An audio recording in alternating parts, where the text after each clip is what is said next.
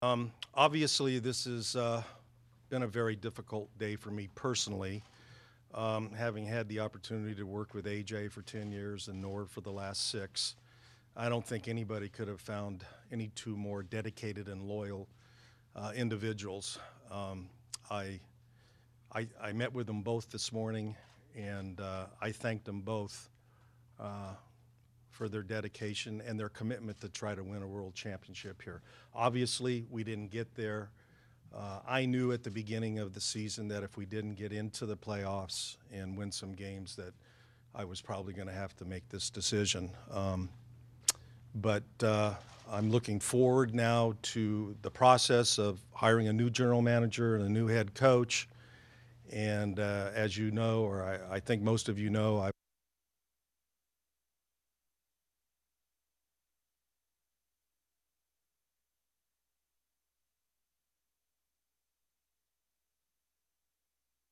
a new general manager and a new head coach.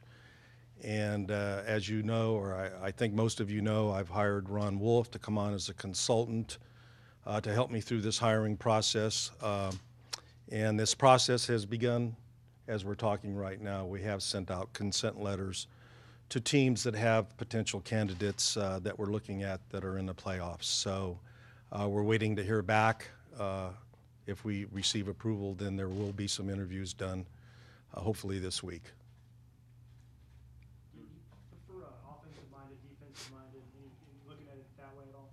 You- On a coach? Yeah, you know, I, I think, and let me clarify one thing. I, I, I believe that my goal here is to try to get a general manager in place first and then go out and hire our new head coach. Um, that may not be possible because of who's going to be out there, who, what consents we may uh, receive, but, um, you know, that is, that is my goal right now. So until I get the general manager in place, really can't answer that because I'm going to depend on him to, for his advice and what direction we should go. And Jimmy will get interviewed? He absolutely will get interviewed.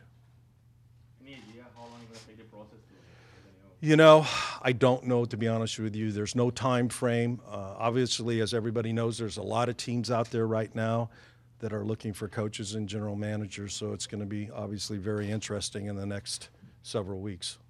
Dean, did the empty seats in the stadium, did that factor into this decision as well? Well, obviously, if you don't win, fans aren't going to come, and uh, and this is, I think this is uh, part of our business, and uh, you know, but I, you know, as I said earlier, I mean, our goal is to put a winning, uh, you know, product on the field, and we haven't done that in the last three years. So, uh, it's not it's not a good thing when you don't see the fans in the stands.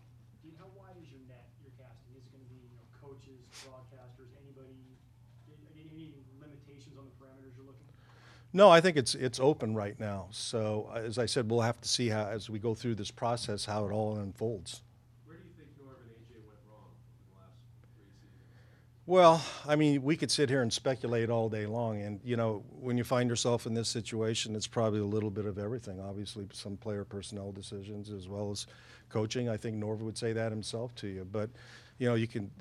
To me, I'm looking forward. I'm not looking backwards. Do you think this team needs to be uh, reconstructed, or are you pretty close to maybe making that next step? Well, I, you know, obviously, I want to get our general manager in place, and that's something we're going to talk a lot about. I do personally believe we have a good core group of players on defense. Uh, we have, in my mind, a great quarterback, uh, given the opportunity. You know, with some better personnel around him. But uh, I, you know, I, I want to wait till the general manager gets in place first. Are you considering the recent trend in the NFL with teams turning things around very quickly? We've seen what the Colts have done this year. Are you optimistic that this can be turned around very quickly? Well, yes. To answer your question, yes. I want to turn around as fast as we can, but we got to do it right too. We have to build this team right. Why go with Ron Wolf to help out? Um, I think he's a very credible individual. He's he's well respected in the league.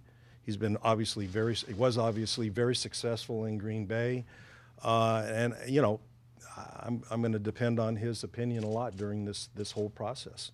It was reported that you'd made your decision weeks ago to make this termination. Is that Mm-hmm. true? Well, you know, I knew, as I said earlier, I think at the beginning of the season, if we didn't get into the playoffs, you know, and, and do something that, you know, win some games that I probably was going to make the change. But I would say if you want a specific time and date, probably when we were 100% officially eliminated from the playoffs, which was right after the Carolina game.